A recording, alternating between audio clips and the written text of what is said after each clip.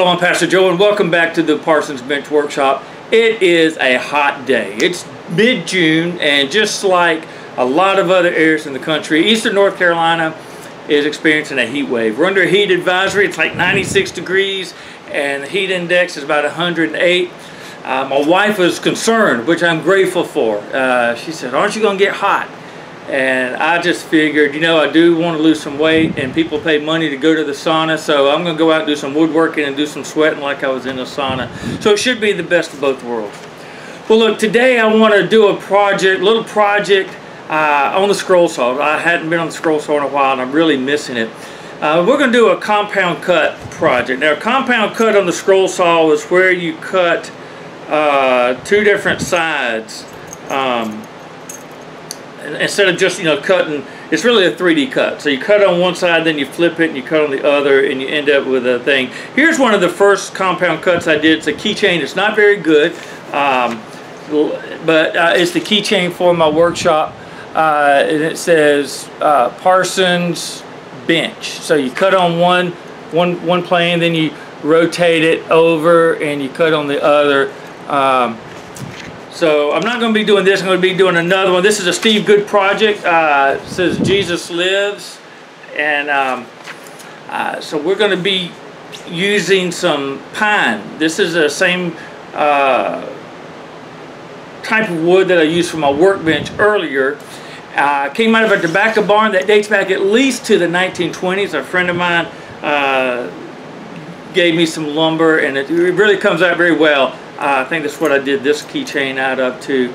Uh, so let's start this process. I'm going to start by cutting the uh, pattern and we'll glue it to the wood. Then we'll move over and start doing some cutting. So we're going to begin. I need to cut the this pattern, uh, particularly the sides. I need to cut right on these lines. So I'm going to take a ruler and my razor blade and get these cut just as close as I can.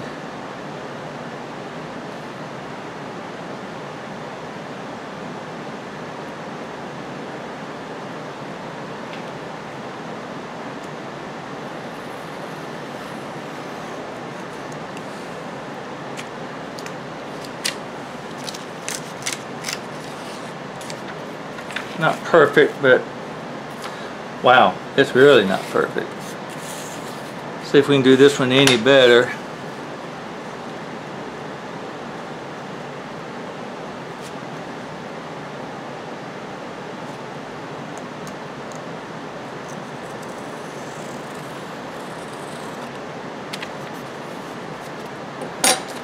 that's a little better. So I got the uh, blank that we're going to be cutting this out of, uh, got it covered with blue painter's tape. I'm going to take the um, pattern now and I'm going to use this uh, 3M Super 77. This is what I have found works best for me. I've tried some other and um, I ended up having a few issues with it, uh, but there's plenty of others that would work. So we're going to give the pattern a good spray.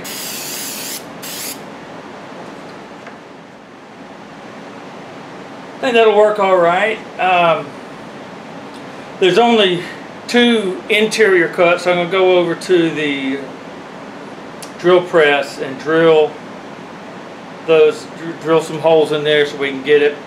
And then we can get over to the scroll saw and start cutting this thing. All right, we're going to start with the, uh, the two interior cuts. I'm using a number 12 blade since this is an inch and a half thick.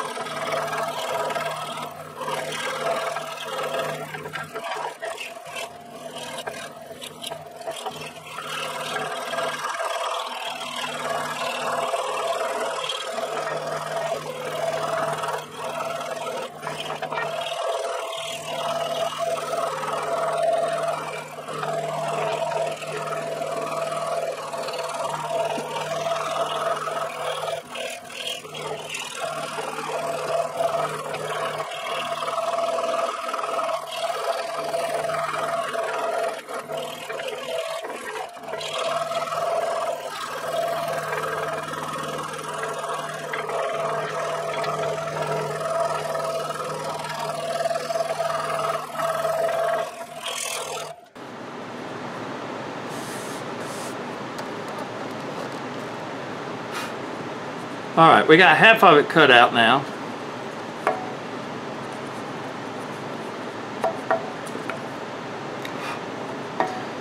So what we're going to do is we're going to put it back in and I'm going to get some packing tape and we're going to tape it back together so that I can uh, cut this other side now and everything will stay in place.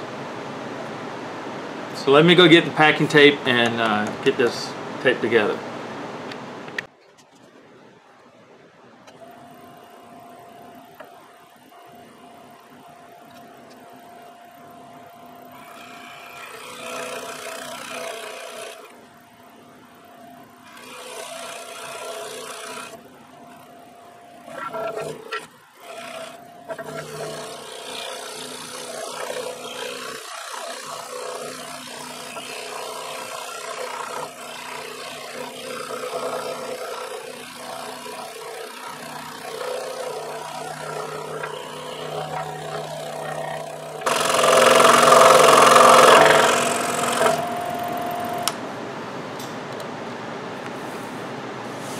All right, I got that cut. I think what I'm going to do is take it over to the uh, my miter saw and trim the ends.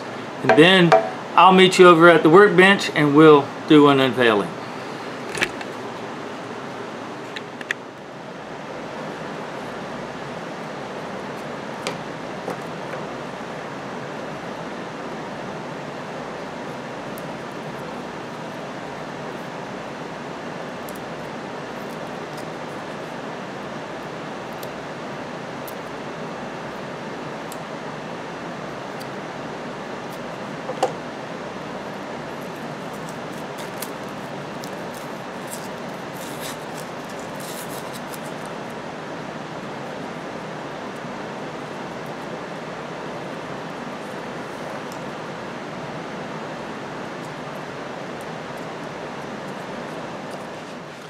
So I'm going to I'm going to knock off some of the sawdust and then uh, we should be ready to spray it with a couple of coats of a, a spray finish and then I'll be able to get you a picture of the finished product.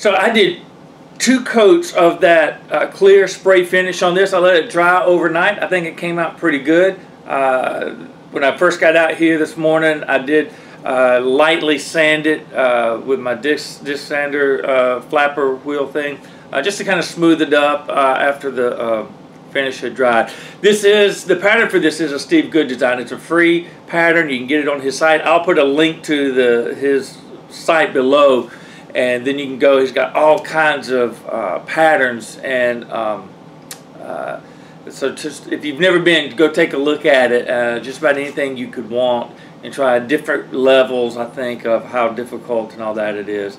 Uh, but the compound cut on the scroll saw can do some amazing things. Uh, if you've never tried it I encourage you to give it a try and uh, just see how it goes well, I do want to thank you for joining me for this video. I hope you'll join me for the next one, and I hope that maybe this will inspire you and encourage you to get out in your own shop and make some sawdust.